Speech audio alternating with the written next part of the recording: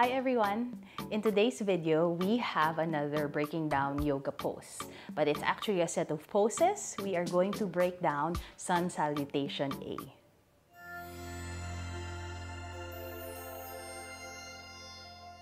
So we'll start standing in Tadasana or mountain pose. So when you um, stand, Okay, so some traditions, um, they'll have their big toes together. So check if that's comfortable for you.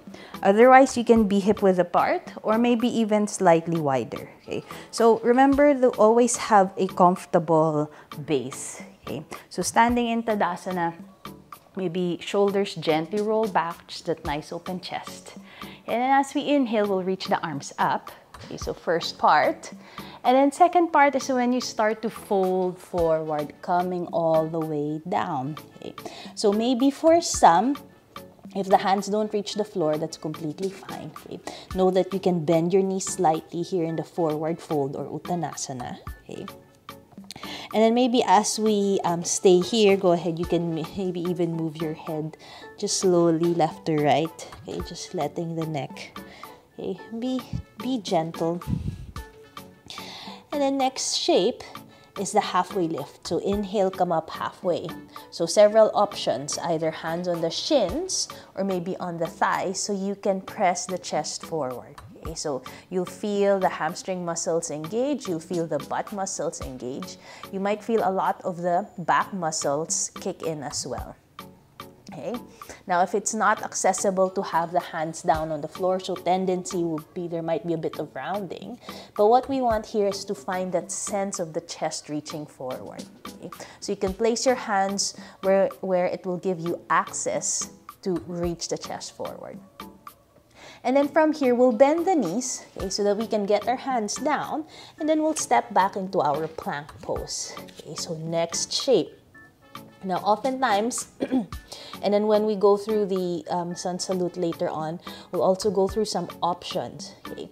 Now, if in plank, so you want to spread the fingers wide, draw that belly in. Imagine you're hugging a block in between the thighs, so legs are active, pressing up. Now, when we, for the next shape, when we go through chaturanga, let's do a modified chaturanga first. So we'll bring the knees down and then from here, you'll start to reach the chest forward. Okay, still keep pushing and rounding through the upper back, bellies engaged, as you slowly make your way down to the mat. Okay, toes will point back.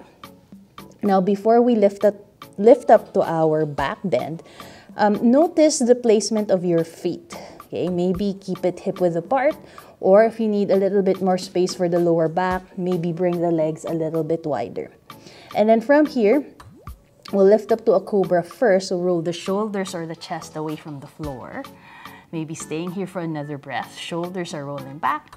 And then as you exhale, you pass through tabletop, curl the toes, and then into downward facing dog. Okay, so oftentimes, um, if you hear it in a vinyasa class or in my other videos, okay, so so down dog is a point where either you can connect with the breath again or maybe as a point of transition. But when you're in down dog, okay, so if this is a lot on the hamstrings, you can bend the knee slightly. Okay, so still find that lengthening sensation. So pushing away from the palms so that the butt can reach back. Okay, so it's not necessary for the heels to press down. But for some, if that's accessible for you, go ahead without compromising the length in the spine. Okay? And then to finish off the sun salute one round, you look forward. Okay? You can step forward, walk forward.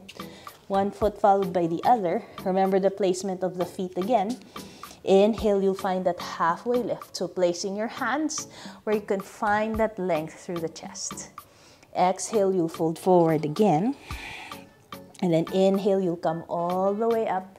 Hands reach up, maybe even look up and then hands back by the sides. Okay, we'll go through that again. Do another version of chaturanga. Okay, so grounding through the feet. Inhale, maybe arms will reach up out to the sides. Maybe you look up if that's accessible for the neck. Maybe even hands together. And then exhale, we'll fold forward all the way down. Okay, maybe quick towel dry. Inhale, come up halfway. Again, find that sensation of the chest lengthening forward. So maybe on fingertips, maybe on the shins, maybe on thighs. As you exhale, bend the knee so you can get your hands down. You'll step back to a plank, okay? And then from here, draw that zipper. Pushing away from the hands, shoulders are active. Can you still keep that same engagement? As you exhale, you reach forward, elbows will bend any amount, and then from here, toes will point back, and then now we're in our upward facing dog. Okay, so shoulders are rolling back, finding that zipper at the belly, and then as you exhale, we'll curl the toes into downward facing dog. Breathing in and out. And then if you're doing this tutorial or breaking down video, you can stay in down dog a couple of more breaths. And then to finish another round, you can look forward, knees will bend. You can step or walk forward. Inhale, find that halfway lift. So remember, in the transition, you can always adjust. Exhale will fold forward. And then inhale, arms will lift up, all the way up. Maybe again, hands touch, you can look up. And then exhale, hands back by the side. So we'll go through it one more time. And then this time, let's pace it with the breath. Okay. Inhale, we'll reach the arms up. Exhale, we'll fold forward. Inhale, come up halfway. And then as you exhale, palms press down. Step back to your plank. You can breathe in here again. And then as you exhale, elbows will bend. Breathing in, either to cobra or up dog, maybe even locust. And then exhale into downward facing dog. You can stay here for a breath or two. And then we'll bend the knees, looking in between the hands, stepping forward. Inhale, come up halfway. Exhale, we'll fold. Inhale, we'll reach the arms all the way up. And then exhale, hands back by the sides. So I hope that tutorial was helpful for you. Um, if you have a limited amount of time in your day to exercise, you can do Sun Salutation A as many times as you like. And in some practices, we even um, do it 108 times. So maybe give that a try. So don't forget to like and subscribe. If you have any questions or comment, please drop one below. I would like to thank you for watching. This is Every Yoga by Jo Endaya, sharing everyday yoga for everybody.